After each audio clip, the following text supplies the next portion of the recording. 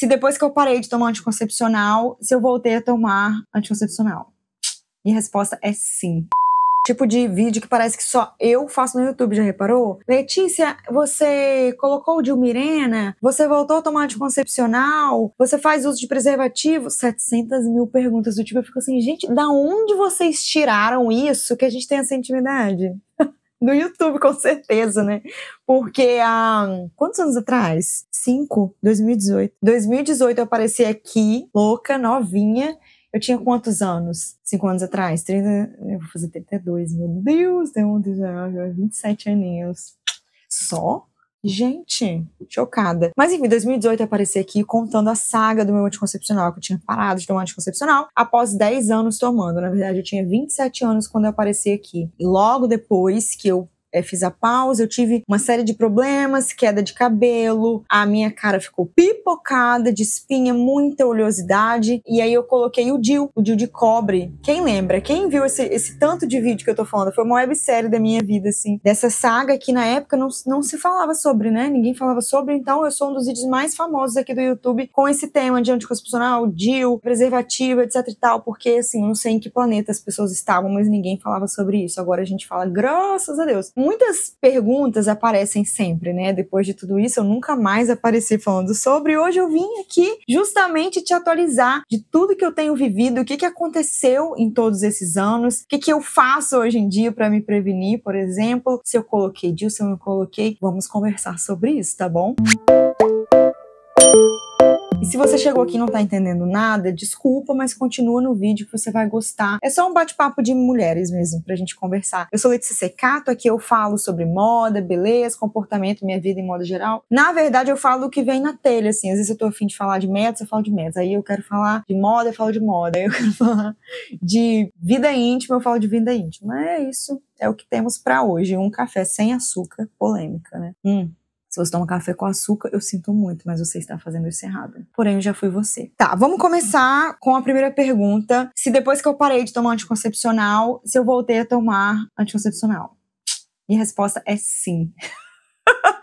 não, tô brincando. Eu não voltei a tomar anticoncepcional, mas nesse período de cinco anos eu tomei uma cartela de anticoncepcional em setembro de 2022 ou 2021, 22, que foi quando eu tive uma viagem para Jericoacoara, né? E aí meu ciclo tava prestes a começar. Eu falei, quer saber? Vou tomar uma cartela de anticoncepcional para minha menstruação não vir. Claro, fui acompanhada pela minha ginecologista, tá bom? Então eu só tomei nesse período e não tomei mais nenhum dia da minha vida, não faço uso de anticoncepcional, nem nada do tipo. E aí outra pergunta que vem, muito comum, é quanto tempo depois que a minha pele voltou a normal, se o meu cabelo voltou a normal, se a oleosidade parou. Gente, é, a saga foi literalmente uma saga, né? Então eu fiquei uns dois anos pós a pausa do anticoncepcional sofrendo com muitos sintomas fortes, né? Então, muita espinha, muita oleosidade, muita queda de cabelo. E eu fui resolvendo minhas pequenas batalhas como dava para resolver. A pele eu resolvi fazendo um tratamento com ácido e desde então eu nunca mais parei de cuidar da minha pele. Como que eu cuido da minha pele hoje? Já tem um vídeo aqui, vou deixar ele linkado aqui embaixo. Mas eu comecei um tratamento que ele nunca mais acabou, literalmente isso. Usei um ácido bem forte na época. Depois eu fiz um tratamento para tirar as manchinhas e hoje a minha pele ela é melhor do que quando eu, eu era mais nova, assim, minha pele é muito boa. Mas eu só uso,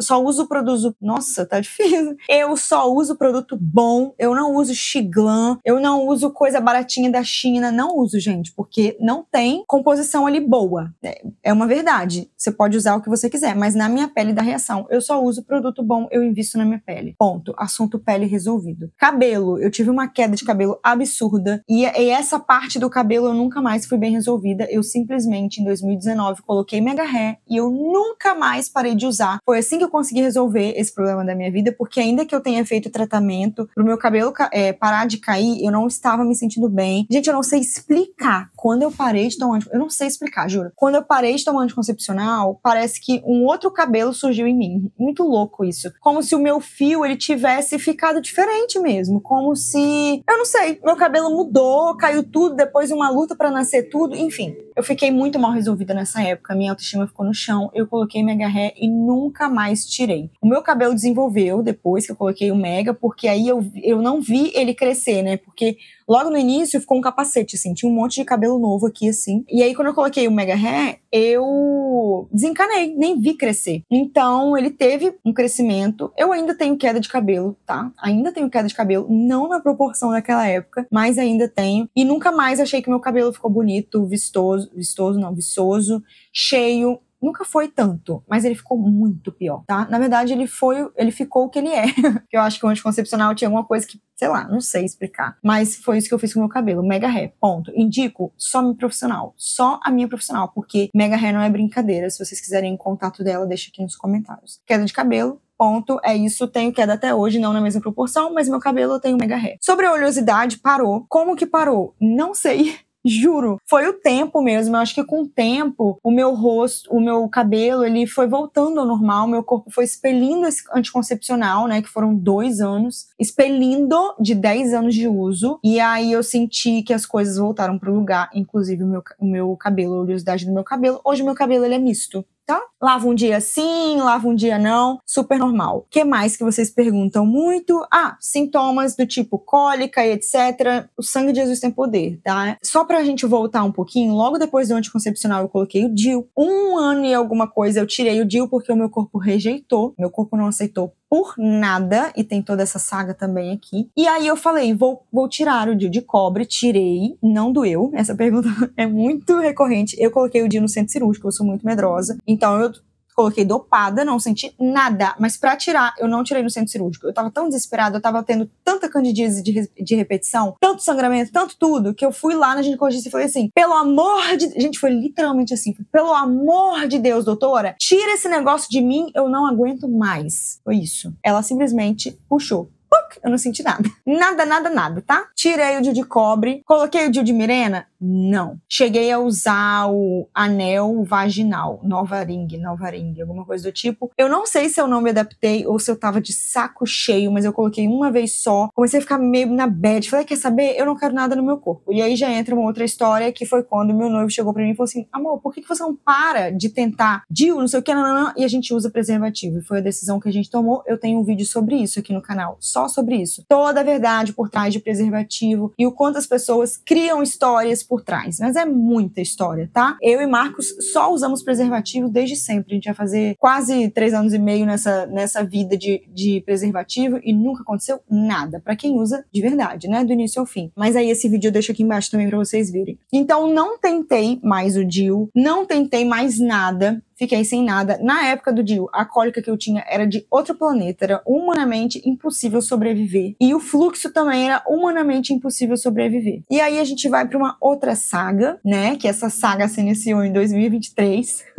ano passado, que foi a saga do coletor menstrual. Desde que eu parei de tomar anticoncepcional, eu voltei a ser quem eu deveria ter sido a vida inteira. Uma mulher que tem dores, que tem ovulação, que tem libido, que tem cólica, eu não sentia nada quando eu tava tomando anticoncepcional. Mas assim, literalmente nada. Eu era completamente apática. Na medida que eu parei, eu senti que com o passar dos anos foi aumentando assim os sintomas. Então, hoje é como se eu não tivesse um minuto de paz. Ou eu tô com cólica menstrual, ou eu tô com dor no ovário, porque eu tô ovulando, ou eu tô menstruada tá? Confesso que essa parte é muito chata. E aí, nesse ano passado, no início do ano, em março, eu fui na ginecologista e falei assim: eu tô muito preocupada comigo, porque eu tô tendo muito mais cólica que o normal. Aí eu sinto dores nos seios, eu sinto muita dor quando eu tô ovulando, mas, gente, é uma dor, como se fosse uma cólica mesmo. E aí fizemos uma série de exames, não só exames para averiguar endometriose ou qualquer outro tipo de doença, mas também para ver a questão da fertilidade. Estou para fazer 32 anos, socorro Deus, e aí já queria ver se toda essa questão aí de fertilidade e tal,